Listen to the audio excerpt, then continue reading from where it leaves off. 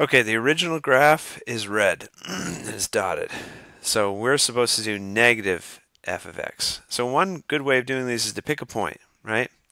This is at uh, 4 on the x, negative 5 on the y. And what this function says is that we're not really change if you don't change your x values, the new graph should have the opposite sign of the y values.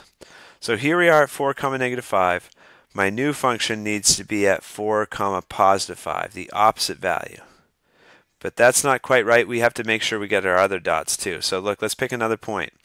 On the red dot, it's 5 comma negative 3, right? So this function transformation says you're changing all the y values. So instead of 5 comma negative 3, we're going to do 5 comma positive 3. And that's it. That's the graph of the transformation.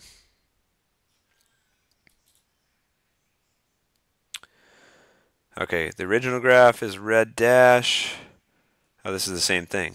Okay, where's the red dash? I need to move that. Okay, so it's saying you're changing the y values. They're the opposite sign.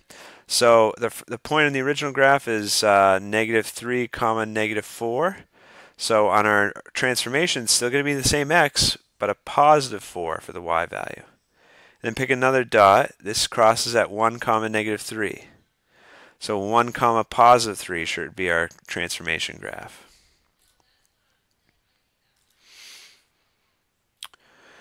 Okay, so this one is saying that um, for the new functions graph, the um, your, the y value is going to be the same as the opposite signs of whatever x value you put in. So in other words, f of negative 2 in the original graph should be f of 2 in the positive graph.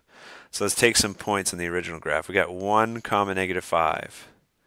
So on the new graph, you should have negative 1 comma 5 for a dot. Negative 1 comma 5 for a dot.